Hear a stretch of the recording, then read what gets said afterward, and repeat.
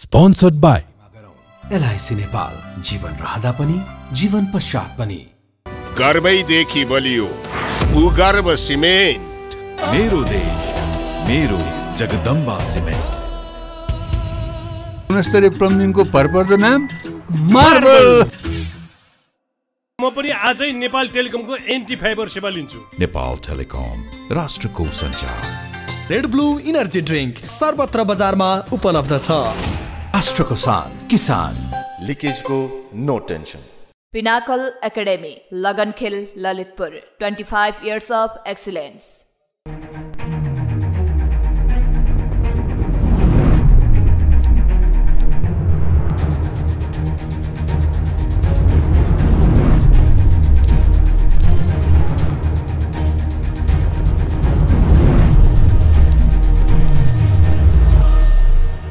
नमस्कार आदि दर्शक आजको जनता जान्न चाहन्छन् कार्यक्रममा हामी बिपी कोइरालाको बारेमा पुष्पलाल श्रेष्ठको बारेमा नेपाली काङ्ग्रेस र नेपालका कम्युनिस्टहरूको बारेमा आज हामी चर्चा गर्न चाहन्छौँ। दुई हजार सात सालको क्रान्तिको कुरा गर्दाखेरि राणा शासन विरोधी अभियानका नेताहरू हुनुहुन्थ्यो बिपी कोइराला र पुष्पलाल श्रेष्ठ।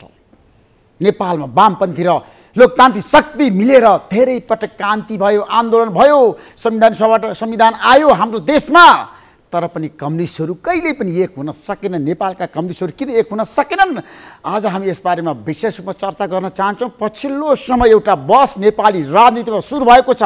नेपाल कम्युनिस्ट पार्टीका संस्थापक महासचिव पुष्पलाल श्रेष्ठलाई आज हामीले सम्झिरहँदाखेरि उहाँले अगाडि सार्नु भएको समाजवाद कहाँ पुग्यो आज? फेरि पनि दलहरूको बिचमा एउटा बस जारी छ। कोही भन्छन् वैज्ञानिक समाजवाद कोही भन्छन् लोकतान्त्रिक समाजवाद कोही भन्छन् समाजवाद कोही भन्छन् जनवाद। नेपालमा त्यसको आवश्यकता छ त। आज हामी यसबारेमा विशेष रूपमा खुलासा गर्न चाहन्छौँ र आजको जनता जान्न चाहन्छन् कार्यक्रममा आज दिनभरि शीर्ष नेताहरूले काङ्ग्रेसमाथि आक्रमण गरेका छन् र भनेका छन् काङ्ग्रेस सचेन भने अब गठबन्धन तोडिन सक्छ। गठबन्धन भत्ताभङ्ग हुन्छ।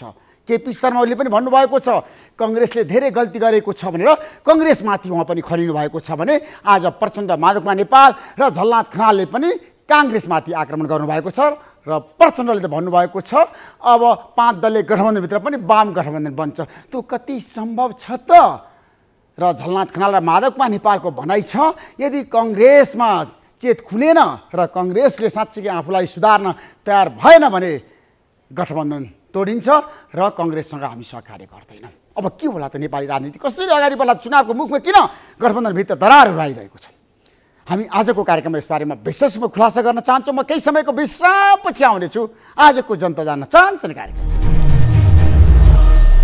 विश्रामपछि आज हामी हाम्रो बिचमा एउटा यस्तो व्यक्तित्वसँग कुराकानी गर्दैछौँ।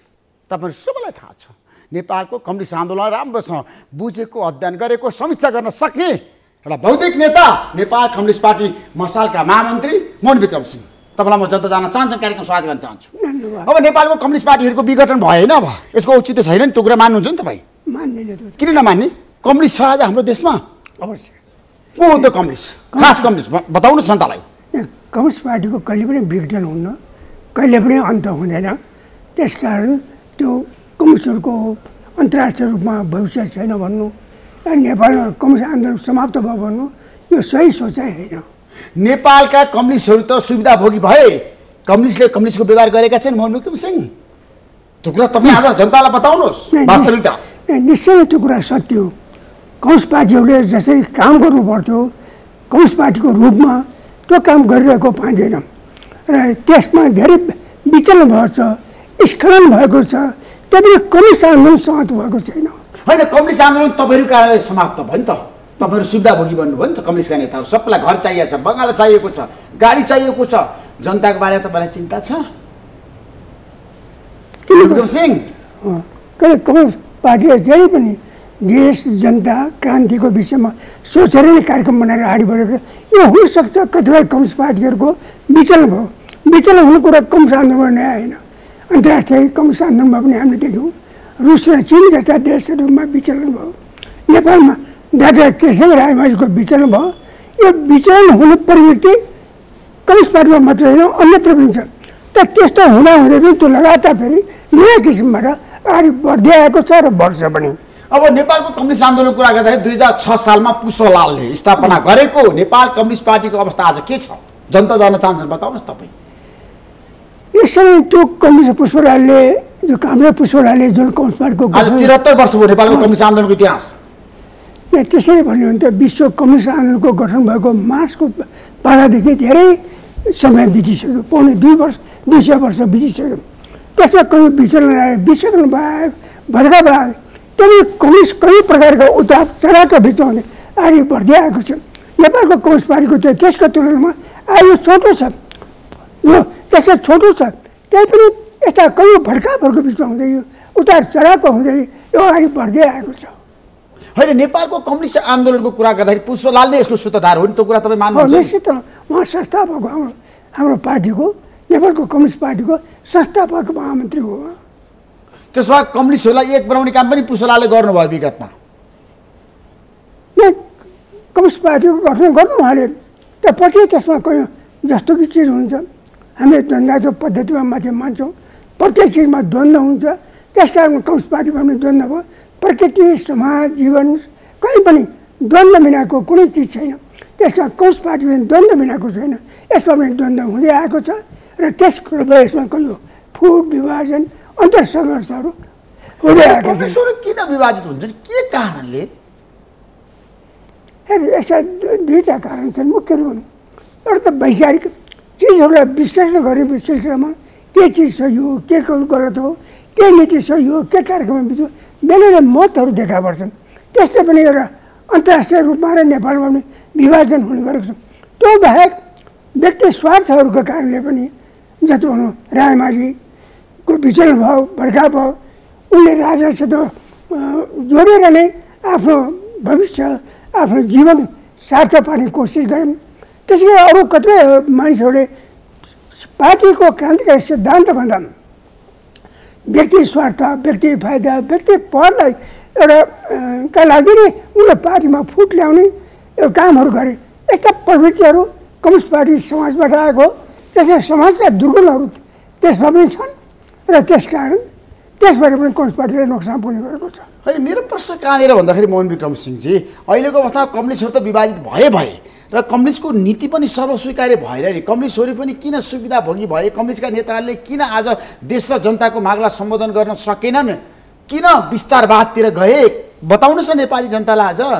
निश्चय त्यो कम्युनिस्ट आन्दोलनमा वास्तवमा हुने हो भने द्वन्द्वको बिचमा नै त्यो अगाडि बढ्छ कम्युनिस्ट आन्दोलन पनि। त्यसमा राम्रा नराम्रा चिजहरू पैदा हुन्छन्। नराम्रा चिजका विरुद्ध सङ्घर्ष गर्छ त्यसैले कम्युनिस्ट आन्दोलन अगाडि बढ्दै आएको छ। त्यसले कम्युनिस्टबाट हामी हामीले स्वीकार गर्छौँ। कम्युनिस्टबाट पनि धेरै विचलन आएका छन् भड्काबाट आएका छन्। त्यो कम्युनिस्टहरू आएकै छन्। तर त्यसको अर्थ कम्युनिस्ट आन्दोलन खत्तम हो भने कम्युनिस्ट आन्दोलनलाई तपाईँले आज कसरी हेर्नु भएको छ? नेपालका कम्युनिस्टहरू कहाँ छुके के कारणले कम्युनिस्ट पार्टीहरू फुट र विभाजनमा गयो? किन एउटा पार्टी बन्न सकेन कम्युनिस्टहरूको? कारण के हो? कम्युनिस्ट पार्टी एउटै पार्टी बन्नु चाहिँ संसारमा कहीँ पनि सम्भव भएन। नेपालमा किन सम्भव भएन त? विश्वको कुरा नगर्नु नेपालमा। तपाईँहरूले किन एउटा कम्युनिस्ट पार्टी बनाएर जान सक्नु भएन? होइन। संसारमा महासङ्घको पार्लामा पनि सम्भव भएन। लेन स्थानको पार्लामा पनि सम्भव भएन। माको पार्लामा पनि सम्भव भएन। संसारको कुनै देश किनभने प्रत्येक चिज द्वन्द्वको बिचबाट जान्छ। द्वन्द्व भनेको फुट पनि हो। फुटको बिचमा एकता पनि हो। र यसै द्वन्द्वको बिचमा जान्छ। त्यो नियमबाट विश्वव्यापी नियमबाट सार्वभौम नियमबाट कम्युनिस्ट पार्टी पनि अवकाश छैन। त्यस कारण त्यहाँ पनि द्वन्द्व हुन्छ फुट हुन्छ त्यसको द्वारा नै त्यसको फेरि विकास हुँदै जान्छ। होइन नेपालका कम्युनिस्टहरू सत्ताको लागि पदको लागि पैसाको लागि किन मरिहत्ते गर्छन्? मलाई बताउनुहोस् त मोहन विक्रम सिंह। त्यो कारण त्यसमा आएको भड्काप हो विचलन हो त्यही नै हो। यसलाई त्यस त्यो कमजोरीले गर्दाखेरि कम्युनिस्ट आन्दोलन धेरै कमजोर भएको छ। आज रक्षात्मक अवस्थामा पुगेको छ। आज संसारको अरू संसारको दृष्टिमा हेर्दाखेरि नेपालमा कम्युनिस्ट धेरै बलियो भएको जस्तो देखिन्छ। त्यो वास्तव त्यो होइन। नेपालका कम्युनिस्टहरू कमजोर हुनुको कारण चाहिँ दोषी तपाईँहरू नै हो नेता नै हो त्यसमा जनताभन्दा पनि? जनतालाई दोष दिने भन्ने कुरा होइन। ज- तर जनतामा जुन प्रकार सोचाइहरू छन् त्यही जनताको सोचाइ पनि सधैँ शुद्ध हुँदैन सधैँ सही हुँदैन। उनीहरू कहीँ प्रकार कमजोरी हुन्छ हाम्रो समाजमा सामन्ती सोचाइ पुँजीवादी सोचाइ उपभोक्तावादी सोचाइ सबै व्यापक रूपमा छन् त्यसबाट कम्युनिस्ट पार्टीमा अलग हुँदैन। त्यसको असर कम्युनिस्ट पार्टीमा पर्छ। त्यसले गर्दाखेरि कम्युनिस्ट आन्दोलन कमजोर हुन्छ। अब तपाईँले पुष्पलाल श्रेष्ठलाई कुनै समय गद्दार भन्नुभयो। तर आज आएर तपाईँहरू पुष्पलाललाई महान नेता भन्नुहुन्छ नि किन भन्नुहुन्छ? कारण के? त्यो पुस यो हेर्नु त सयकौँपल्ट हामीले कुरा स्पष्ट गरिसकेका छौँ। जति यस सन्दर्भमा एउटा कुरा भनौँ। हामीले चाहिँ एउटा पुस्तकको शीर्षकमा गद्दार पुस्तकाल भनेर लेख्यौँ। तपाईँले हो पुष्पलाललाई गद्दार भन्ने मेरो पुस्तकमा त्यो लेखेँ मैले? मालेले सैकडौँ ठाउँमा पुष्पलाललाई मनमोहन लगाएर मलाई पनि गद्दार भनेर लेखेको छ उनीहरूले उसको वर्ग सङ्घर्षका पुराना अङ्कहरू पल्टाएर तर त्यो कहीँ चर्चा हुँदैन। तर त्यो किनभने यो पूर्वा गरेर युद्ध जिस्किनु उनले पुष्पलालको विषयमा मनमोहनको विषयमा या मेरो विषयमा जुन गद्दार भनेर लेखे कहिले आत्मोच्चारण गरेका छैनन् कहिले त्यसलाई सचाएका छैनन् त हामी त त्यो आजभन्दा करिब दुई दशक पहिले नै सम्मेलन गरेर त्यसलाई सचाइसकेका छौँ त्यही पनि आज त्यो कुरा उठ्दैछ। तपाईँ माथि पनि त गम्भीर आरोप छ नि। मोहन विक्रम सिंह नै हो पुष्पलाललाई गद्दार घोषणा गर्ने नेता। देशको कम्युनिस्ट आन्दोलनको सूत्रधारलाई तपाईँले आज किन यस्तो गम्भीर आरोप लगाउनु पहिले त यो कुराको जवाब कसैसँग छैन कि? मालेले जो गद्दार सघौँपल्ट भन्यो पुष्पलालले मनमोहनलाई त्यसको कहीँ जवाब तर। आज तपाईँ माथि त गम्भीर आरोप छ नि त। जो पनि त्यो अवस्थामा जबकि दुई दशक जति पहिले हामीले केपी शर्मा ओलीको माधवकुवा नेपालको धेरै नेताहरूले तपाईँहरूलाई भनेका छन् खास गरी मोहन विक्रम सिंहलाई तपाईँको समूहलाई भनेका छन्। पुष्पलाललाई गद्दार भन्नेहरूलाई फाँसी दिनुपर्छ। तर चर्चा सुरु भइरहेको छ। नै सबभन्दा पहिले त जसले फाँसी पुष्पलाललाई गद्दार भने मनोहरलाई गद्दार भने तिनी चाहिँ मालेका नेताहरू एमालेका नेताहरू उनीहरूकोसँग के भनिन्छ। होइन पुष्पलालसँग तपाईँको पूर्वाग्रह किन? पूर्वाग्रह होइन त्यो। हामीहरूको सैद्धान्तिक विश्लेषण हो त्यो। सैद्धान्तिक विश्लेषण के भने दुई हजार छब्बिस सालमा हामी भद्रकोट जेलमा थियौँ कामरेड निर्मलामा कमल कोइराला हामी सबै दस पन्ध्रजना साथीहरू त्यहाँ जेलमा थियौँ। नेपाली काङ्ग्रेसको पुष्पलालको मात्र होइन पुरानो पार्टीको विश्लेषण के थियो भने यो राष्ट्रिय पुँजी वर्गको पार्टी हो भने राष्ट्रिय पुँजी वर्ग उसमा जनवादी क्रान्तिको मित्र शक्ति हुन्छ। त्यसका त्यो पार्टीको विश्लेषण थियो। दुई हजार छब्बिस सालमा जेलमा भएको बेलामा हामीहरूको एक महिनासम्म बैठक बस्यौँ त्यसले के निर्णय गर्यो भने नेपाली काङ्ग्रेस यो राष्ट्रिय पुँजीको पार्टी होइन। सामन्त दलाल र नोकरसाह पुँजीको पार्टी हो। राजा जस्तै प्रतिराज्य पार्टी हो भने हाम्रो विश्लेषण गर्यो। त्यसकारण त्यसैले गर्दा त्यो विश्लेषण भयो।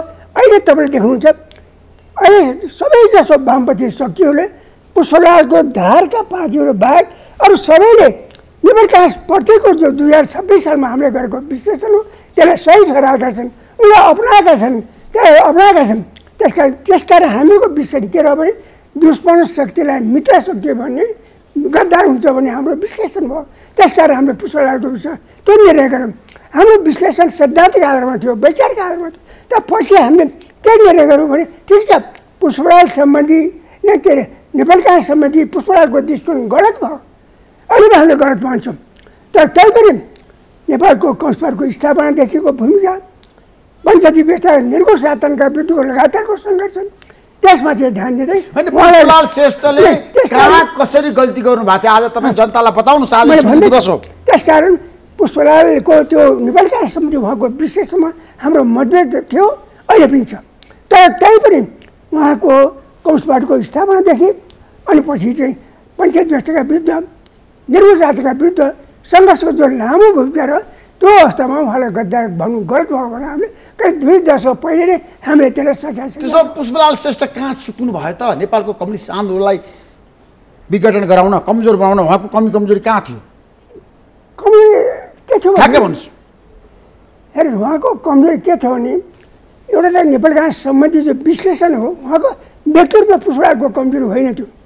नेपालको कौश आन्दोलनको नै पुरानो पिँढीको विश्लेषण गर्थ्यो। नेपाली काङ्ग्रेसको विषयमा हामीले जो विश्लेषण गऱ्यौँ त्यो सही विश्लेषण थियो र त्यो अहिले पनि सही छ।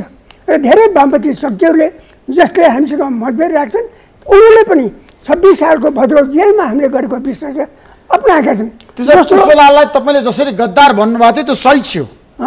पुष्पलाललाई तपाईँले जसरी गद्दार भन्नुभएको थियो त्यो सही थियो। हाम्रो त्यतिखेर तपाईँले गरेको निर्णय ठिक थियो। त्यो विश्लेषण दुई हजार छब्बिस सालमा तपाईँले जसरी काङ्ग्रेससँग पुष्पलालको जुन निकटता बढ्यो त्यो गलत हुन्छ तपाईँले गद्दार भनेर घोषणा जो विश्लेषण हो उहाँको गलत थियो भने हाम्रो विश्लेषण थियो। तर त्यो पछि हामीले त्यो पक्ष गलत हुँदा हुँदै पनि उहाँलाई समग्र रूपमा मूल्याङ्कन गर्दाखेरि हामीले फेरि त्यो गद्दा भनौँ गलत हो भनेर पार्टीले निर्णय गरेको काङ्ग्रेसप्रति पुष्पलालको नकारात्मक सोच थियो? नकारात्मक भने सम्झौता प्रस्ताव हुन्थ्यो काङ्ग्रेसलाई उहाँले प्रजातान्त्रिक शक्ति मान्नु भएन पुष्पलाल श्रेष्ठले? र प्रजातन्त्र शक्ति उहाँले राष्ट्रिय पुँजीको पार्टी मान्नु हो। राष्ट्रिय पुँजी पार्टीको मान्नु भन्नुको अर्थ नयाँ जनवादको क्रान्तिकारी शक्ति हो। त हामीले त्यस प्रकारको काँसलाई एउटा नयाँ जनवादको क्रान्तिकारी शक्ति या मित्र शक्तिको रूपमा हाम्रो पार्टीले विश्लेषण गरेको छैन। यद्यपि कार्यनीतिक रूपमा कैयौँ ठाउँमा हामीले उनीहरूसँग कार्यगतता गर्ने कुरामा जोड दिँदै आएका छौँ। छाल सालमा गरौँ बैसठ त्रिसठमा गरौँ अहिले पनि हामीले गरिराखेका छौँ। अहिले पनि नेपाली कार्यनीतिको कुरा गर्दा मोहन विक्रम सिंहजी पुष्पलाल श्रेष्ठले लिएको नीति नै आजको दिनमा ठिक छ? कम्युनिस्टहरूको लागि सर्वस्वीकार्य छ? नेपाली काङ्ग्रेस भन्नुहोस् है। नै नेपाली काङ्ग्रेस पार्टीको जो उहाँको विषय थियो त्यो सही थिएन गलत थियो। त्यसो कङ्ग्रेस र कम्युनिस्टको बिचमा जसरी सम्झौता भयो नि त आन्दोलनमा सहायता सहकार्य गर्ने। कार्यनीति त बन्यो नि दुई हजार छयालिस सालको जनआन्दोलन। कार्यनीति र विश्लेषण वर्गीय विश्लेषण बेग्लै हो तात्कालिक कार्यनीति बेग्लै हो। वर्गीय रूपमा नेपाली काङ्ग्रेस पार्टीको जो उहाँको विश्लेषण थियो गलत थियो। के थियो रूपमा के थियो पुष्पलालको विश्लेषण? के थियो पुष्पलालको? मैले भनिहालेँ नेपाली काङ्ग्रेसलाई उहाँले उसको सामन्त दलाल र नोकर पुँजीपतिको पार्टी होइन। उसको राष्ट्रिय पुँजीपति पार्टीको पार्टी मान्नुभएको थियो त्यो गलत थियो। त्यसो भए मलाई के बताउनुहोस् भन्दाखेरि अब पुष्पलाल श्रेष्ठको कुरा गरिरहँदाखेरि फेरि नेपालका सबै कम्युनिस्टहरू एक भएर जान सक्छन्? आज तपाईँ छातीमा हात राखेर भन्नुहोस् त। त्यो सम्भावना कति छ? अरे पहिले त एकता हुने भन्ने कुरा दुईवटा आधारमा विचार गर्नुपर्छ। एउटा पार्टीगत एकता हो पार्टी एउटै हुने दोस्रो पार्टी बेरबेरी हुँदा पनि कुनै खास इस्युमा तत्काल इस्युमा मिलेर जाने। कार्यगत एकता अहिले तत्काल पार्टीगत रूपमा नेपालमा त्यस्तो सैद्धान्तिक आधार तयार भएको छैन। सबै कम्युनिस्टहरू मिलेर जान सक्दैन चुनावमा तालमेल गर्न सक्दैनन् त्यो तालमेल हुनसक्छ त पार्टी एकता हुन सम्भव छैन। किन सम्भव छैन? सबै कम्युनिस्ट भएर जान सक्दैन। नेपाल कम्युनिस्ट पार्टी गठन गरेर जान सक्दैन। पुष्पलाल श्रेष्ठले स्थापना गरेको पार्टी हो नि त Nepal communist party communist party भनेको नामले मात्र कम्युनिस्ट पार्टी कम्युनिस्ट पार्टी त कुनै दिन राजाजीको कम्युनिस्ट पार्टी थियो। यो राजासँग मिलेका थिए। पार्टीको नाम हुँदै। कार्यक्रम नीति विचार सिद्धान्तमा उनीहरू एकता हुनुपर्छ अहिले त्यस्तो सम्भावना हामीले देखाएको छैन। तैपनि अहिले जस्तो भनौँ हामीले देखिरहेका छौँ छाल सालमा हामी मिल्यौँ। नेपाल काङ्ग्रेस समेतसित मिल्यौँ। बैसठी त्रिसठी सालमा मिल्यौँ। अहिले पनि प्रतिबन्धका विरुद्धको सङ्घर्षमा हामी मिल्यौँ। यसरी त खालि अहिलेकै वामते शक्तिहरू मात्र होइन नेपाली काङ्ग्रेससित पनि हाम्रो कार्यगत एकता हुनसक्छ जो हामीले गरेका छौँ। त्यसमा काङ्ग्रेससँग तपाईँहरू कार्यगत एकता हुन सक्छ। निश्चित सहकारी हुन्छ। हो त्यो गरिरहेका छौँ हामीले अहिले पनि। आगामी निर्वाचनमा तपाईँहरू काङ्ग्रेससँग मिलेर जानुहुन्छ एक भएर जानुहुन्छ। यो त भन्न सकिन्न। ठ्याक्कै भन्नु जनता जान चाहन्छन्। हे। मोहन विक्रम सिंहजी। किनभने यस्ता चिजमा भविष्यवाणी गर्न सकिन्न। कि त्यो कुरा कार्यगत एकता भनेको बेलै पक्षले इमान्दारीपूर्वक आफ्नो नीतिलाई कार्यान्वयन गरेमा त्यो एकता हुनसक्छ कार्यगत एकता हुनसक्छ तर हामीले अहिलेको स्थानीय चुनावमा देख्यौँ। स्थानीय चुनावमा नेपाली काङ्ग्रेस माओवादी समाज अघि समाजवादीहरूले इमान्दारताको पालन गरेनन् सबैको निर्णय थियो एमालेसँग कुनै तालमेल नगर्ने। तर नेपाली काङ्ग्रेसले कयौँ ठाउँमा तालमेल गर्यो? पुष्पलालले त्यही हो माओवादीले कयौँ ठाउँमा एमालेसँग तालमेल गर्यो? यसले त्यो उनीहरूले इमान्दारताको नीति अप्नाएनन् त्यसले गर्दाखेरि हाम्रो तालमेलमा धेरै बाधा अहिले पनि भविष्यमा पनि आवश्यकता छ। प्रतिबन्धका विरुद्ध सबै वामपन्थी र लोकतान्त्रिक शक्तिहरू मिलेर जानुपर्ने आवश्यकता छ। तर इमान्दारता हुनुपर्छ। इमान्दारता देखिएन भने त्यो तालमेलले काम दिन्न। सबै कम्युनिस्ट एक भएर एक वाम एक ठाउँ जान सक्ने अवस्था छैन आगामी निर्वाचनमा। एक वाम एक ठाउँ भन्नुपर्छ त एमाले सहित आउँछ। एमाले सहितको कुरा गरेको मैले। सबै कम्युनिस्टहरू। त्यो सम्भव छैन। एमाले माओवादी केन्द्र एकीय समाजवादी तपाईँको पार्टी राष्ट्रिय जनमोर्चा सबै पार्टी एक भएर चुनावमा जान सक्छ। आगामी दिनमा कङ्ग्रेसको विरुद्ध। त्यो उचित हुँदैन भने हाम्रो देशको हुन्छ एमाले प्रतिगामी दिशा समातेको छ। अनि यो प्रतिगमनको मुख्य शक्ति बनेको छ। त्यस्तो अवस्थामा एमालेसित गर्ने एकताले प्रतिगमनलाई मद्दत पुग्छ एमालेसँग तपाईँ त निकट भएर एकता गरेको होइन पहिला भने। तपाईँले एमालेसँग तालमेल गरेको होइन दुई हजार चौहत्तर सालमा। दुर्गा पौडेललाई जिताउनको लागि तपाईँले चाहिँ समर्पण गरेको होइन। सनाउली कहाँ गएर तपाईँले भनेको होइन। एमाले त्यसो हामी माओवादी एमाले सबैसँग मिलेर हामी गएका हौँ तर किनभने उसको नीतिमा परिवर्तन आयो उसले चाहिँ प्रतिबन्धको दिशा समात्यो गोयलसँगको वार्तापछि उसले चाहिँ राजावादीहरूसँग साथै गर्न थाल्यो। धर्मनिष्ठाको विरोध गर्न थाल्यो। त्यसकारण एमालेसँग अहिले हाम्रो त्यो तालमेल सम्भव छैन। त्यो सही पनि हुँदैन। होइन एमालेसँग तालमेल गर्नुपर्छ भनेर माधवमा नेपाल र झलनाथ खानाले भन्न थालिसक्नुभयो प्रचण्डले भन्न थालिसक्नुभयो। कङ्ग्रेस सचेन भने अब कम्युनिस्टहरू एक हुनुपर्छ। सवाल काङ्ग्रेस सचिन्छ कि सचिन्न भन्ने होइन? सवाल प ओली सचिन्छ कि सचिन्न भन्ने कुरा जबसम्म उनले प्रतिनिधि दिशा समात्छन् त्योसँग उनीसँग तालमेल सम्भव छैन। ओलीसँग तालमेल सम्भव छैन। उनको त्यो नीति कहाँ रहँदैछ अनि प्रचण्ड र माधवमा नेपाल झलनाथ खानाले ओलीको पोल्टामा जानु भने के गर्नुहुन्छ तपाईँ? है त्यो भविष्यमा तपाईँको भूमिका के हुन्छ त्यतिखेर? त्यो राष्ट्रिय जनमोर्चा कता? काङ्ग्रेसतिर कि प्रचण्डतिर? हामीले ठ्याक्कै भन्नु सिधा प्रश्न नेपालको। इतिहासमा कहिलेपल्ट हामी एक्लै पनि गएका छौँ। धेरै इतिहासमा धेरैपल्ट गएका छौँ। त्यस कारण त्यो त्यो स्थितिमा कसै पैदा हुन्छ के हुन्छ त्यसमाथि निर्भर गर्ने तर। एक्लै जान तपाईँहरूलाई पनि गाह्रो छ नि कठिन छ नि चुनावमा। त हामी धेरैपल्ट एक्लै पनि गएका छौँ। यसपटक त एक्लै जाँदाखेरि तपाईँहरू त पराजित हुनुहुन्छ कहीँबाट चुनाव जित्न सक्नुहुन्न? जित हार मुख्य होइन। मुख्य हार जे सम्पर्क प्रश्नवनको राजनीति हो राजनीति लाइनको किनभने हामीले जित हारको लागि कयौँ ठाउँमा हामीले त्यो जित हारको कुरालाई आधार भनेर हामी काम गर्छौँ आज यो माओवादीहरूको माधवहरूको एउटा कमजोर के छ भने जित र हारलाई मुख्य आधार बनाएर उहाँले सोचिराख्नुपर्छ त हामीले हाम्रो पार्टीको इतिहासमा अहिले नै स्थानीय चुनावमा हेर्नु कयौँ ठाउँमा एमालेसँग मिलेको भए हामीले कयौँ ठाउँमा जित्न सक्छौँ त बरु हार्ने तयार भयौँ एमालेसँग हामी मिलेनौँ। त्यसमा हाम्रो लागि जिताएर मात्र मुख्य होइन। मुख्य चिज भनेको हाम्रो सिद्धान्त हो हाम्रो नीति हो हाम्रो राजनीति हो। फेरि तपाईँले भन्नुभयो अहिले तत्काल केपी शर्मा ओलीसँग सहकार्य हुन सक्दैन चुनावमा तालमेल हुन सक्दैन। प्रचण्ड र माधवका नेपालको पार्टी यदि एमालेसँग सहकार्य गर्न गयो भने तपाईँ के गर्नुहुन्छ? राष्ट्रिय जनमोर्चा कता जान्छ? त्यस्तो एमालेसँग हामी तालमेल गर्दैनौँ। एमालेसँग तपाईँहरू चुनावी तालमेल गर्नुहुन्न। तर प्युठानमा तपाईँले चाहिँ दुर्गा पौडेललाई जिताउन सम्झौता गर्नुहुन्छ नि त ओलीसँग। विगतमा गर्नुभयो नि विगतमा उनी त्यसो त हामीले कुनै पल्ट जिताउनु ब- उ- दुर्गा पोले जिताउनु मात्र होइन। प्युठाङमा दुर्गा पोलेले जितिन् त्यहाँ दुईवटा प्रदेश सिटमा चाहिँ उनीहरूले जिते। उसले चाहिँ एमाले माओवादीहरूले। ठिकै छ बागलुङमा हामीले दुईवटा सिट उनीहरूले जिताए काङ्ग्रेस माओवादीले एमालेलाई।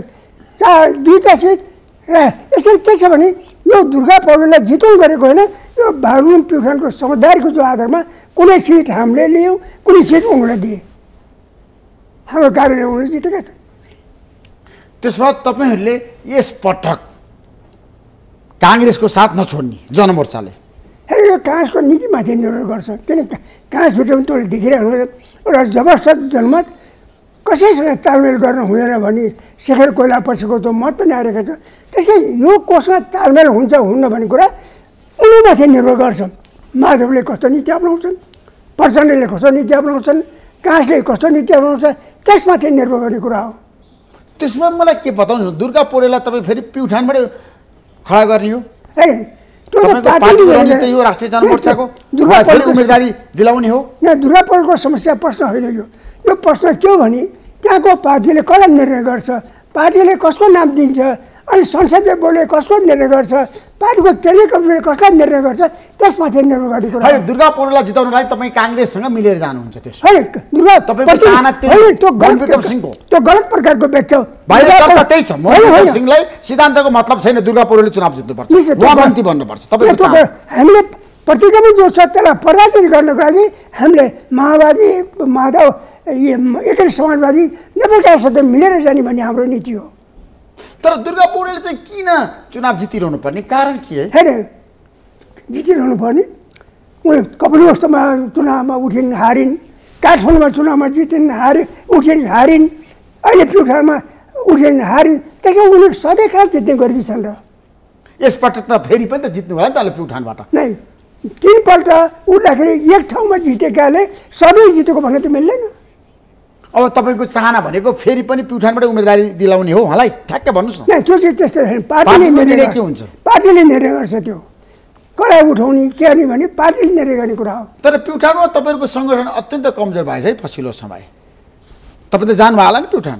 नै त्यसै हेर्नु गएको स्थानीय चुनावमा हामीले दुईवटा गाउँपालिकामा जितेका थियौँ। अहिलेको स्थानीय चुनावमा एउटा नगरपालिकामा जित्यौँ एउटा गाउँपालिकामा जित्यौँ दुईवटा गाउँपालिकामा उपमेयरमा जित्यौँ यसरी पहिलाभन्दा कमजोर भोट चाहिँ मजबुत भयो? त्यो त्यसै तथ्यहरूको आधारमा तर भन्नु एमालेका नेताहरूको भनाइ छ मोहन विक्रम सिंहको पार्टी राष्ट्रिय जनमोर्चालाई पत्ता साफ गर्न सकिन्छ प्युठानमा अब।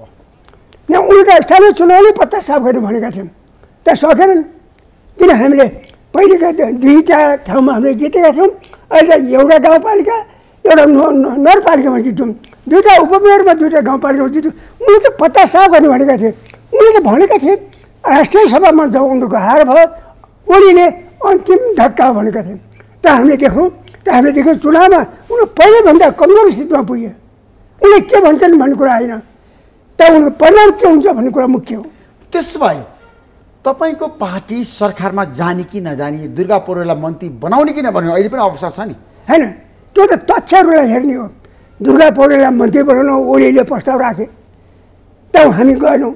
उपप्रमुख बनाउन उसले ओलीले प्रस्ताव राखे भन्न संसदमा उनले स्वीकार गरे। हामीले राष्ट्रिय जनमतलाई त्यस्तो पद दिन खोजे नमान्ने भनेर ओलीले त्यही भने। पछि अहिलेको पार्टीले गठबन्धनमा पनि दुर्गा पौडेललाई मन्त्री बनाउन प्रस्ताव राखेको थियो। हामीले स्वीकार गरेनौँ। त्यसका मन्त्री हामीलाई मुख्य होइन। मुख्य हाम्रो सिद्धान्त नीति हो। तपाईँले दुर्गा पौडेललाई मन्त्री बनाउन प्रचण्ड कहाँ जानुभयो? माधवमा नेपाल कहाँ जानुभयो? केपी ओली कहाँ जानुभयो भनेर धेरै समाचार बन्यो त्यो पत्रिका हो। त्यसमा सर्वोच्च के अरे हामीले जिल्ला अदालतमा पनि त्यसमा मुद्दा चलेको थियो। मुद्दाले पनि हामीले त्यस्तो गरेको ठहराएन। त्यसो तपाईँ दुर्गा पौडेललाई मन्त्री बनाउन चाहनुहुन्न? होइन मन्त्री बनाउनुमा पार्टीले कुनै बेला केसीलाई मन्त्री बनायो पछि चाहिँ प्रचण्ड र शेरबहादुरको सरकार बन्यो त्यहाँ मन्त्री बन्न हामी स्वीकार गरेनौँ। अहिले पनि जस्तो ओलीले मन्त्री बनाउँदाखेरि हामीले स्वीकार गरेनौँ। त्यसै गरी अहिलेको पार्टीले गठबन्धनले मन्त्रीको प्रस्ताव राख्दा हामीले स्वीकार गरेनौँ।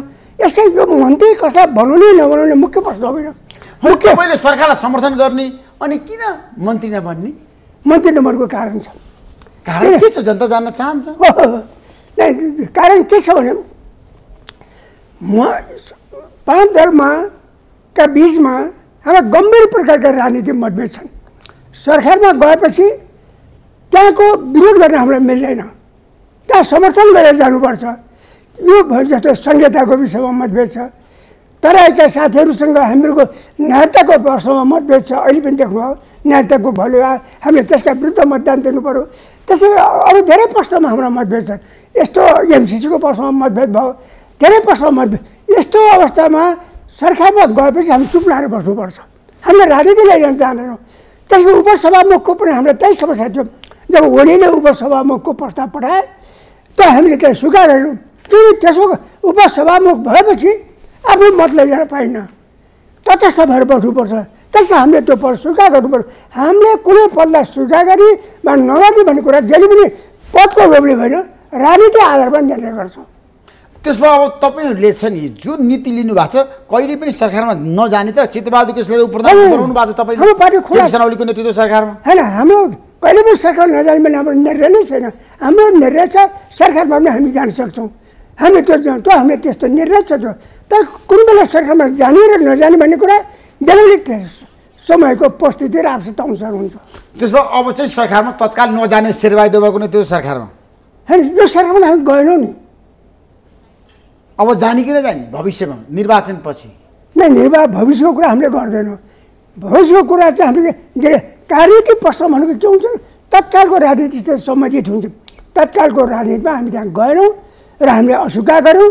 अहिले पनि हामी त्यही स्थितिमा त्यसले गर्दा जबकि तपाईँले देख्नुहुन्छ अरू पार्टीमा मन्त्रीहरूको लागि कतिका जोड दौडधुप सारा हुन्छ। त हाम्रो पार्टीले मन्त्रीको प्रस्ताव आउँदाखेरि पनि हामीले त्यसलाई अस्वीकार गर्ने गरेका छौँ।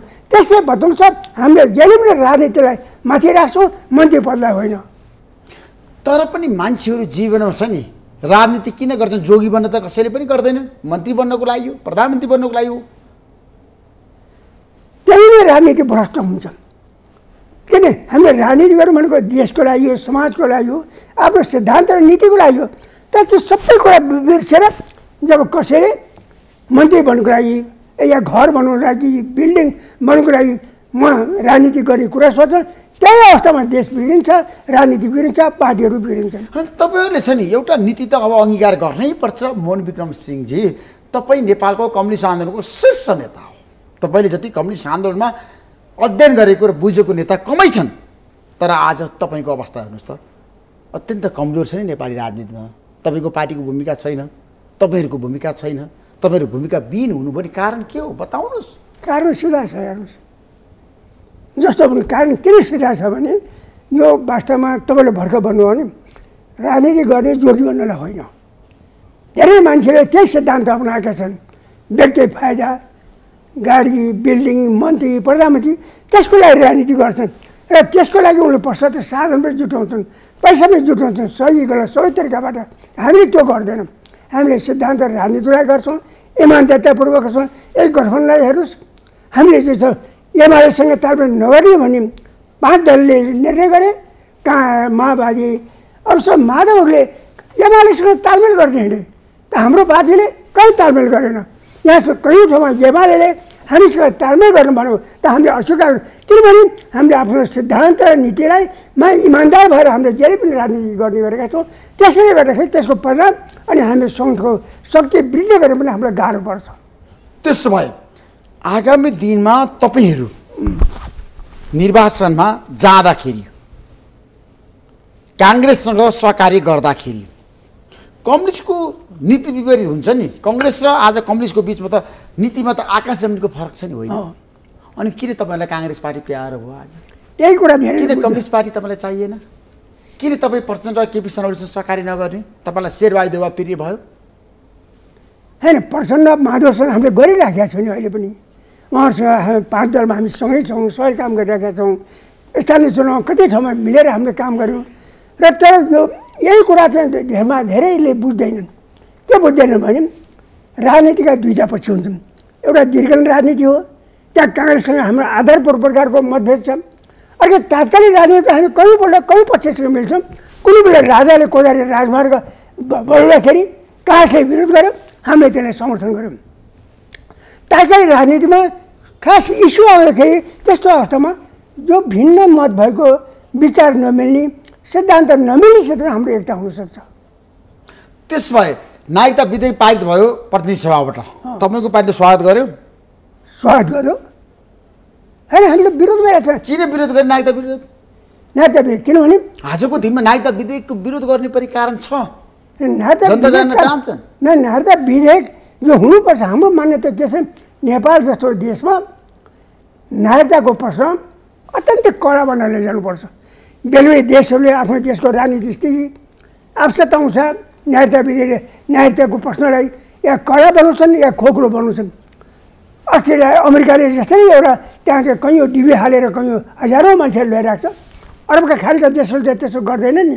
एकजनालाई पनि नागरिकता दिन्न किन यस्तो आफ्नो देशको स्थिति हामीले अनुसार हामीले निर्णय गर्नुपर्छ। त्यस कारण हामीहरूको एउटा तिनतिरबाट इन्डियाले घेरिएको खुला सीमा भएको ठाउँमा यहाँ चाहिँ चाइनाबाट पनि आउँछन् अरू देशबाट आउँछन् बङ्गलादेशबाट आउँछन् त्यो सङ्ख्या नगर्ने छ। इन्डिया त खुला सीमा छ। दिनदिनै हजारौँ आउन सक्छन् बिना पासपोर्ट आउन सक्छन् त्यस्तो अवस्थामा यहाँ खोक्रो नीति हुनुको अर्थ के हुन्छ भने नेपालमा पुरै एउटा भारतीयहरूको प्रभुत्व कायम हुन्छ उनीहरूको बहुमत हुन्छ इन्डियाको फेरि एउटा रणनीति के छ भने चाहे श्रीलङ्का भन्नुहोस् चाहे फिजी भन्नुहोस् चाहे पनि भन्नुहोस् आफ्ना नारीलाई ठुलो सङ्ख्यामा त्यहाँ पठाएर त्यहाँको बहुमतद्वारा त्यहाँ आफ्नो नियन्त्रण कायम गर्नु उसको नीति छ। त्यो नीति नेपालमा सबभन्दा बढी छ। किनभने नेपालमा खुला सेवा छ। त्यसकारण यहाँ एउटा यसो कडा नीति हुनु हुँदैन। होइन राजनीति कतिन्जेल हामीले नागरिकतामा गरिरहने क्या? यो देशका जनताहरू अनागरिक भएर बसिरहने। नागरिकता विधेयक आज सबैले स्वीकारे तपाईँको पार्टीले किन विरोध गरिरहेछ? मधेसमा नागरिकता समस्या समाधान हुने भयो अब। अझै महिलाहरू त पीडामा छन् तपाईँलाई थाहा छ मोहन विक्रम सिंहजी? किन मैले यस्तो सवाल के हो भने नेपालीहरूलाई नागरिकता दिने प्रश्नमा हाम्रो कहीँ मतभेद छैन। तर तपाईँहरूको विरोध छ नि त? छैन छैन। नागरिकताको बारेमा जहिले पनि तपाईँले होइन नेपालीहरूलाई नागरिकता दिने प्रश्नमा हाम्रो कहिले विरोध गरिरहनु भएको छ। होइन विदेशबाट आउनेहरूलाई खोक्रो नीति बनाएर नागरिकता दिने भन्ने कुरामा हाम्रो विरोध हो। नेपालीलाई नागरिकता दिने प्रश्नमा हाम्रो कहिले विरोध छ? त्यसले त्यसै गरेर महिलाहरूको कुरा गर्नुहोस्। अब जस्तो हामी देख्छौँ संसारको धेरै देशहरूमा विवाह गरेर कुनै देशको महिला आएपछि त्यसलाई एउटा निश्चित समयपछि नै नागरिकता दिने चलन छ। इन्डियामा छ। सात वर्ष पनि नेपाली केटी कोही त्यहाँ बिहा गरेर गयो भने सात वर्षपछि अङ्ग्रेजी नागरिकता पाउँछ। तर यहाँ जुम्मा के छ भने इन्डियाबाट कोही केही बिहार आउने बित्तिकै तुरुन्तै नागरिकता दिनुपर्छ। यो अत्यन्त गलत हो। नेपालमा यो यो नायक जो आक्रमण छ इन्डियाको नायकहरूलाई सङ्क्रमण गरेर नेपालको राजनीति सरकार सत्तामा प्रभुत्व गर्ने जो नीति छ त्यसको अङ्ग हो। त्यसलाई हामीले त्यसको विरोध गरेका छौँ। त्यसमा नागरिकता विधेयक पास हुँदाखेरि तपाईँहरूको पार्टीको चाहिँ नि असहमति छ। असुविधा आएको छ नि खोला आएको छ।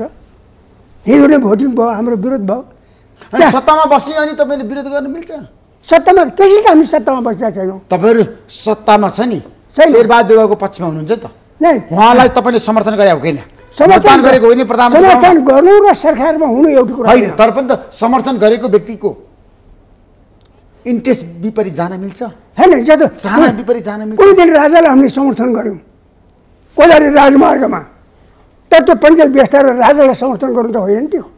तपाईँले त कङ्ग्रेसको नेतृत्व सरकारलाई मतदान गरेको हो नि त पार्लियामेन्टमा होइन? होइन समर्थन भनेको अर्थ त्यही हो। अनि अहिले आएर विरोध गर्न मिल्छ नागरिकता विरोधको। नै त्यस्तो बाहिर चर्चा छ। नागरिकता विधेयकको तपाईँहरूले विरोध गर्नै सुहाउँदैन क्या? होइन गर्ने- सरकारमा तपाईँहरू शेरबहादुरवाला समर्थन गर्ने अनि विधेयकको विरोध गर्ने। होइन जनता जान्न चाहन्छ क्या? किन तपाईँको पार्टीको जहिले पनि? एमसिसीको पनि विरोध गऱ्यौँ नि। हामी सरकारलाई समर्थन गरेका छौँ। तर सरकारले ल्याउने सबै गतिविधिलाई हामीले समर्थन गर्न सक्दैनौँ। त्यसैले हामी सरकारमा गएका छैनौँ। अनि एसपिपीको पनि तपाईँले समर्थन गर्नु भएर किन? कडा? एसपिपीको किन विरोध गर्नु? एसपिपी कहाँ समर्थन गऱ्यौँ हामीले? विरोध गरिरहनु भएको छ नि त यो आवश्यक छ र। होइन एसपिको त हामीले विरोधै गरेका छौँ। होइन एसपिपी चाहिँदैन नेपाल र नेपालीको हितमा छैन यो। छैन नि निश्चित रूपमा छैन। तर प्रधानमन्त्रीले भनिरहनु भएको छ कङ्ग्रेस पार्टीले त अहिलेसम्म अमेरिकालाई पत्रै लेखेन नि त सरकारले। त्यसलाई हामीले गलत मानेका छौँ। पत्र लेख्नुपर्छ त्यो चाहिँ जानकारी गराउनुपर्छ एसपिपीलाई त सरकारले पनि समर्थन गरेन सरकारले अहिलेसम्म अमेरिकन गभर्मेन्टलाई पत्रै लेखेन मोहनविक्रम सिंहजी। होइन नलेख्नु? त्यसलाई त्यो लेख्नुपर्छ भन्ने नै हाम्रो सोचाइ हो। किन लेख्ने? किनभने प्रधानमन्त्री अमेरिका जाँदै हुन्छ शेरबहादुर देउवा नै अमेरिका जाने आउने कुरा त्यो सामान्य हो। अमेरिका जाँदैमा त्यहाँका सबै अमेरिकाका सबै नीतिहरूलाई समर्थन गर्नुपर्छ भन्ने होइन। कयौँ देशका कम्युनिस्टहरूले पनि अमेरिकाको भ्रमण गर्छन्। त्यसको अर्थ सबैलाई समर्थन गर्नुपर्छ भन्ने होइन। हामी इन्डियामा जान्छौँ। इन्डियामा जानु भन्नुको अर्थ इन्डियाको नीतिलाई समर्थन गर्नु होइन। हामी कतारमा जान्छौँ साउदी अरबमा जान्छौँ भन्नुको अर्थ त्यहाँको सम्पूर्ण नीतिलाई हामीले समर्थन गर्छौँ भन्ने होइन। त्यस कारण जाने आउने कुरालाई हामीले विरोध छैन। तर के छ भने एसपिपी नेपालको लागि घातक छ। त्यसले एमसिसीको अङ्ग हो र त्यो नो पासको रणनीतिको अङ्ग हो। त्यसले नेपाललाई कहाँ पुऱ्याइदिन्छ? अमेरिकन क्याम्पमा सैनिक क्याम्पमा पुऱ्याइदिन्छ। हाम्रो असलना परासलाई खतम पारिदिन्छ। त्यस कारण हामीले त्यसको विरोध गरेका छौँ। त्यसो एसपिपी यदि नेपाल सरकारले छ नि अमेरिकन गभर्मेन्टलाई पत्र नलेखिकन यथावत राख्यो भने के गर्ने? तपाईँहरूको विरोध कसरी अगाडि बढ्छ? हामीले आफ्नो विरोध गर्छौँ। होइन विरोध त तपाईँले गरिरहनु भएको छ तर पनि नेपाल सरकारले पत्र लेखेन अमेरिकन गभर्मेन्टलाई। त्यसपछि हाम्रो- के गर्नुहुन्छ? हामीले विरोध हुन्छ त्यो। जस्तै एमसिसीमा हामीले विरोध गऱ्यौँ अनि एमसिसीमा विरोध गर्नुभयो तर पारित भयो नि त संसदबाट। एसपिपीमा पनि त प्रधानमन्त्रीको चाहना छ यसलाई अगाडि बढाउने। त क्याबिनेटले नै होइन त्यसलाई अझ- क्याबिनेट निर्णय गरे तर प्रधानमन्त्री त पत्र लेखेको छैन नि। परराष्ट्र मन्त्री नारायण खड्काले त अमेरिकन सरकारलाई अहिलेसम्म पत्र लेखेको छैन नि। नलेख्नु गयो त संसदमा त्यसको आवाज उठेको छ पत्र लेख्नुपर्छ भनेर सभामुखले त्यसको निर्देशन दिएका छन्। यसका यसकाल के हो भने चाहिँ हामीले यो विवाद सङ्घर्ष हामीले यस्तै चिजहरू भएको हुनाले हामी सरकारमा सामेल भएका छैनौँ। त्यसो भए मलाई के बताउनुहोस् भन्दा हाम्रो देशमा संहिता भनेको नभई नहुने सञ्जीवनी बुटी हो संहिताले देशमा विकास गर्छ आर्थिक क्रान्ति र सम्पन्न नेपाल बनाउँछ जनतालाई अधिकार दिन्छ। यसमा सत्यता कति छ? छैन। संहिताले नेपालमा क्षेत्रीय जातीय विग्रह पैदा गर्छ र राष्ट्रिय विखण्डन गर्छ। त्यस कारण त्यो गलत छ। तपाईँले भनेर हुन्छ संहिता सबैले स्वीकारिसके संविधानमा लेखा छ सङ्घीय गणतन्त्र नेपाल। संविधानमा त एकपल्ट पञ्चायती व्यवस्था निर्विकल्प भनेर लेखेको थियो। वैजन रातनलाई पनि लेखेको थियो। त त्यो त ठिकै न। संविधानमा लेख्दै हुन्छ भने तर संविधानमा लेखिसकेपछि त सबैले मान्नुपर्छ नि। तपाईँ सङ्घीय लोकतान्त्रिक गणतन्त्रको पक्षमा हुनुहुन्न यो छ संहितामा संविधानमा लेख सबैले मान्नुपर्छ भन्ने होइन। है तपाईँ आज संविधानलाई मान्नुहुन्न? न संविधानलाई पुरै समर्थन छैन हाम्रो। संहिताको विरोध छ। अरू कता गलत छ संहिताको तपाईँले किन गरिरहनु भएको छ क्या? सबैले संहितालाई आत्मसात गर्ने। अनि तपाईँले जहिले नि विरोध गर्ने तपाईँ किनभने यो देशको हितमा छैन। किन देशको हितमा छैन संहिता? जस्टिफाई गर्नुहोस् तपाईँ। किनभने यसले राष्ट्रिय विग्रह पैदा गर्छ पैदा गर्छ। संहिताले देशमा एकता ल्याउँछ सहकारी राष्ट्रिय एकता। यसले चाहिँ नेपालको एउटा विखण्डतिर लैजान्छ अनावश्यक खर्च बढाउँछ नेपाल जस्तो सानो देशमा यो प्रदेश संरचनाहरूको आवश्यकता नै छैन। सात सातवटा राज्यहरूको आवश्यकता नै छैन। यो व्यवहार नेपालले ऊ धान्न सक्दैन। संहिताको साथसाथमा कयौँ ठाउँमा आत्मनिर्णयको अधिकारको कुरा उठिरहेको छ दुई राष्ट्रको कुरा उठिरहेको छ। त्यस कारण आत्मनिर्भरको अधिकार गर्ने छुट्टिने स्वतन्त्र हुने अधिकार हुनुपर्छ भन्ने कुराहरू उठिरहेका छन्। त्यसकारण यो नेपालको लागि अत्यन्त घातक छ। त्यसकारण हामीले विरोध गरेका छौँ। होइन संहिता नेपालको लागि घातक छ भनेर तपाईँले भनिरहँदाखेरि सबैको भनाइ छ। मधेस बेस पोलिटिकल पार्टीको भनाइ छ प्रचण्डको भनाइ छ उपेन्द्र यादवको भनाइ छ महन्त ठाकुरको भनाइ छ। संहिता भनेको सञ्जीवनी बुटी हो। तपाईँ के भन्नुहुन्छ? होइन त्यो त्यसलाई हामीले गराउँछौँ त्यो त्यो हामी परिणामले देखाइरहेको छ व्यवहारले देखाइरहेको छ संहिताले देशमा पहिले भनौँ न यही जातिहरूको बिचमा पहिले जति एकता थियो अब छैन। त्यहाँ विग्रह पैदा हुँदै गइरहेको छ। तराई र मधेसको बिचमा विग्रह पैदा भइरहेको छ। तराईलाई त्यहाँबाट त्यहाँबाट अलग गर्ने विखण्डन गर्ने कुराहरू उठिरहेका छन्। यो सबै संहिताको परिणाम हुन् त्यस नेपाललाई टुक्राउनुको लागि नै संहिता नेपालमा। संहिता नेपालको लागि चाहिन्छै चाहिँदैन। आजको आवश्यकता हो? चाहिँदैन यो। यसलाई खारेज गर्नुपर्छ। कसरी खारेज गर्ने? तपाईँसँग दुइटै मत छैन नि त। मोहन विक्रम सिंह।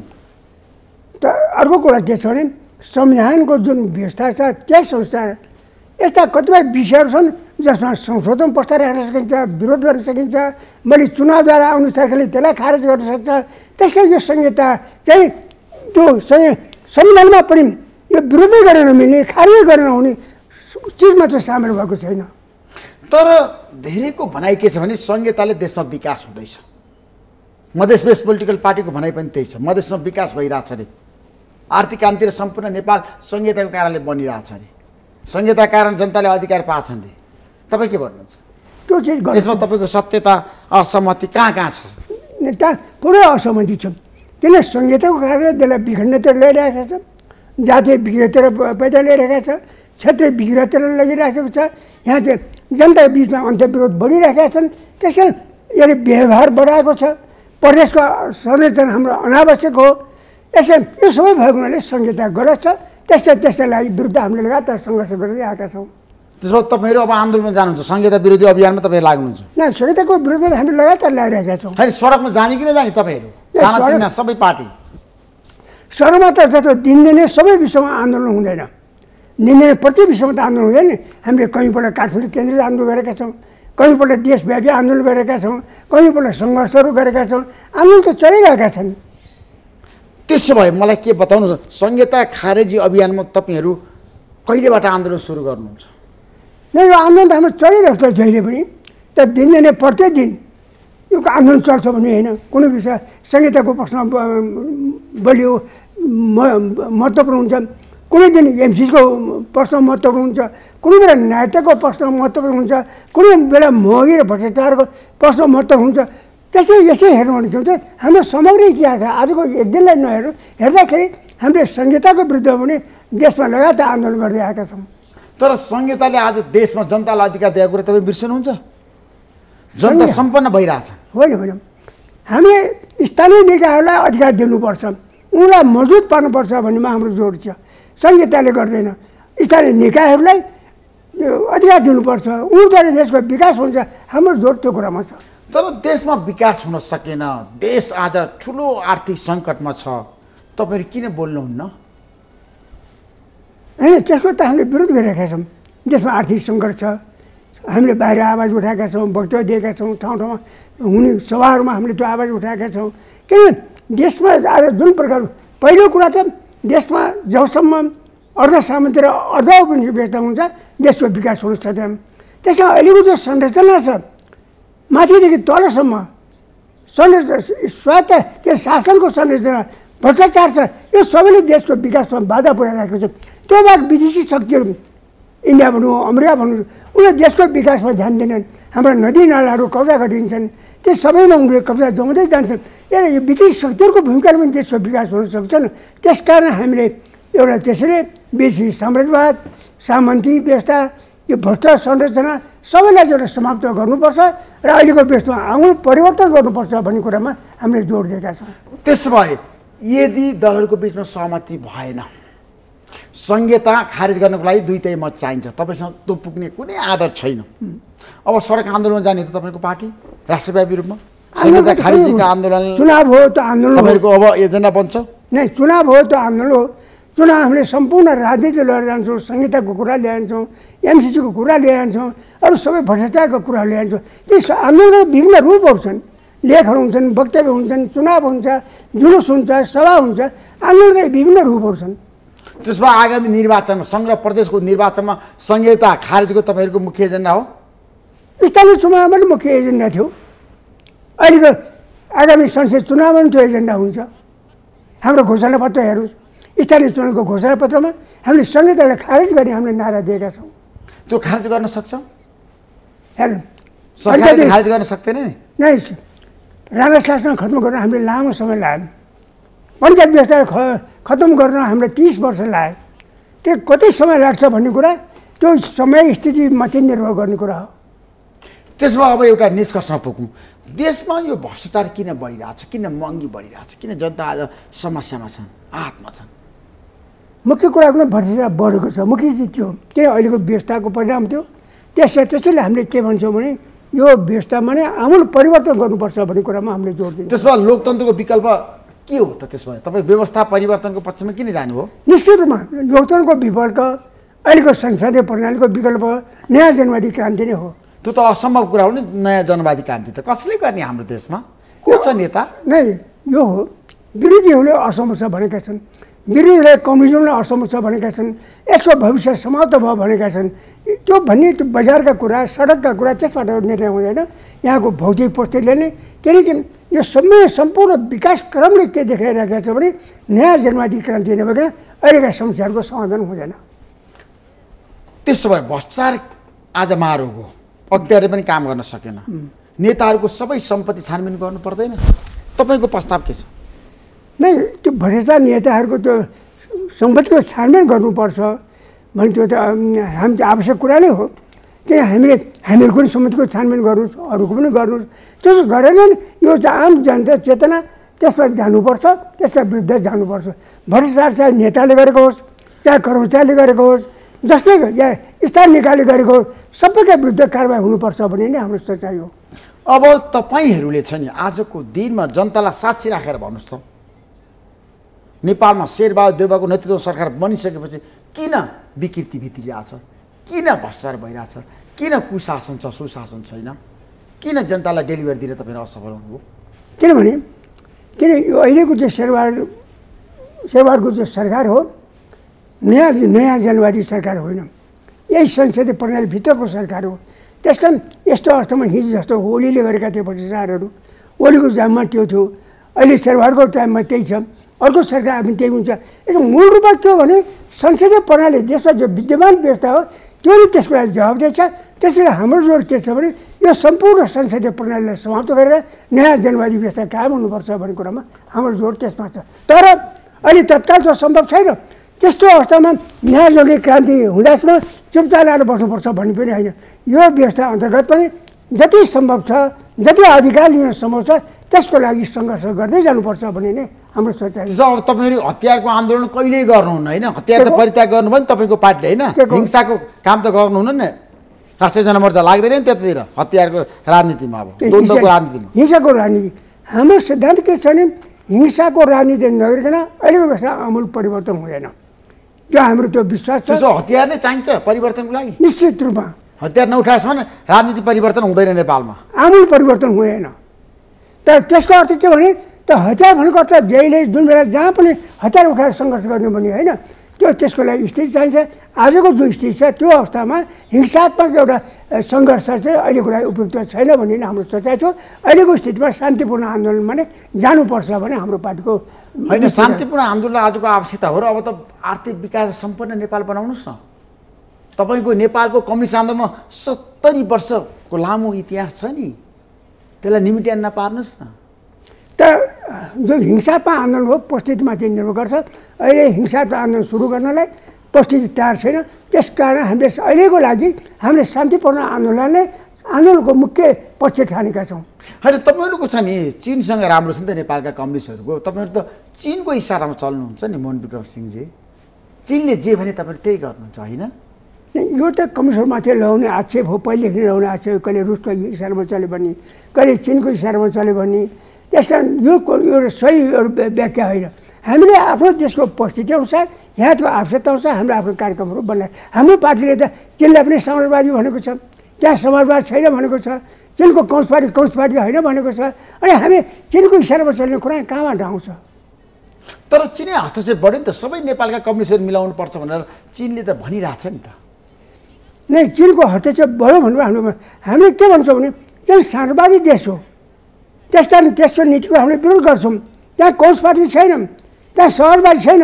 तर हाम्रो मान्यता के छ भने नेपालमा जस्तै अमेरिकाद्वारा भारतद्वारा अतिक्रमण भइरहेका छ हस्तक्षेप भइरहेका छ कहिलेपल्ट हाम्रो नाकाबन्दी गरिदिने गर्छन् त्यस्तो स्थितिमा एउटा निकासको लागि चिनसितको सम्बन्धले महत्त्व राख्छ त्यसले सकारात्मक महत्त्व राख्छ त्यसमा चि- अमेरिकाहरूले भारतहरूले चिनसितको सम्बन्ध पुरै तोड्ने कोसिस गरिरहेको छ भने नेपालको लागि चिनसितको मैत्री सम्बन्ध साम्यवादी देश भए पनि त्यो नेपालको भू राजनीतिक स्थितिमा त्यसले महत्त्व राख्छ भन्ने नै हाम्रो सोचाइ अहिले आज पुष्पलाल श्रेष्ठको स्मृति दिवसको दिन।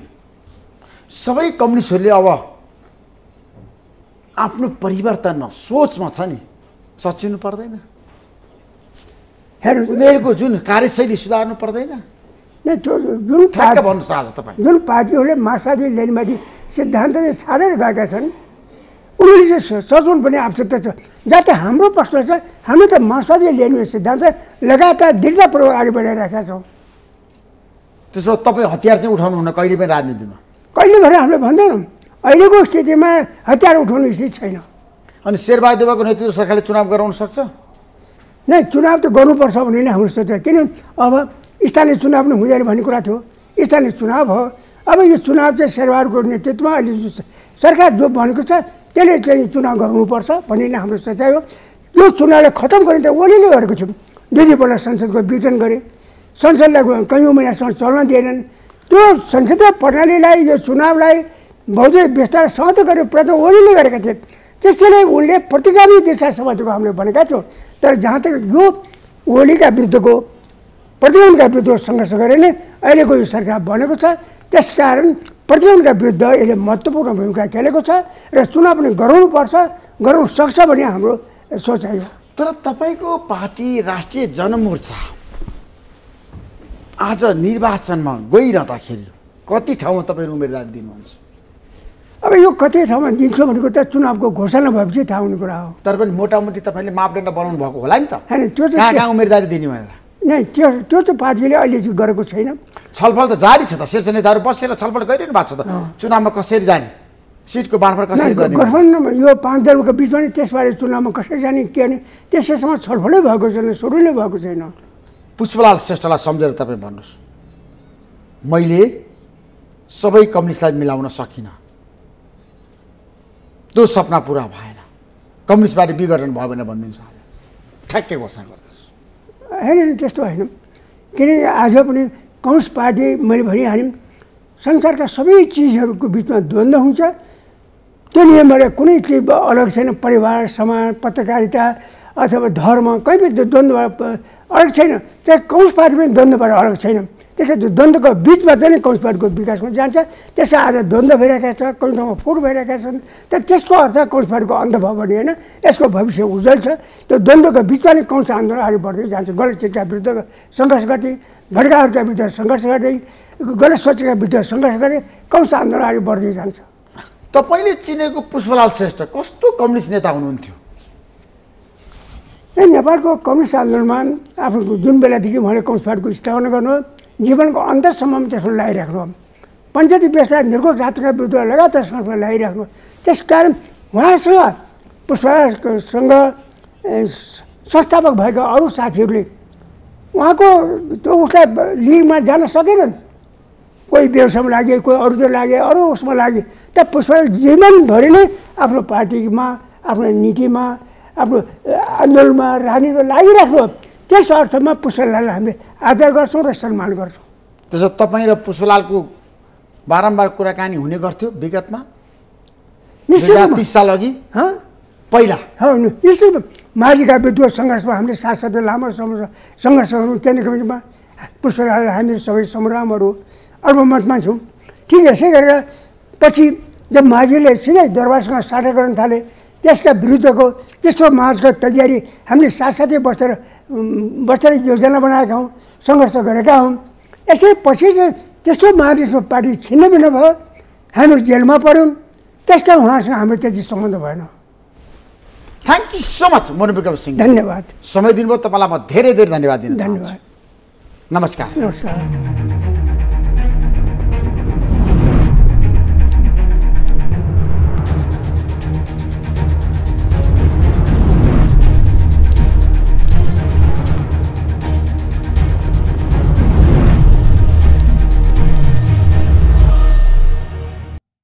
Sponsored by एलआइसी नेपाल जीवन रहँदा पनि जीवन पश्चात पनि गर्वैदेखि बलियो भूगर्भ सिमेन्ट मेरो देश मेरो जगदम्बा सिमेन्ट गुणस्तरीय प्लम्बिङको भरपर्दो नाम मार्बल म पनि आजै नेपाल टेलिकमको एन्टी फाइबर सेवा लिन्छु। नेपाल टेलिकम राष्ट्रको सञ्चार।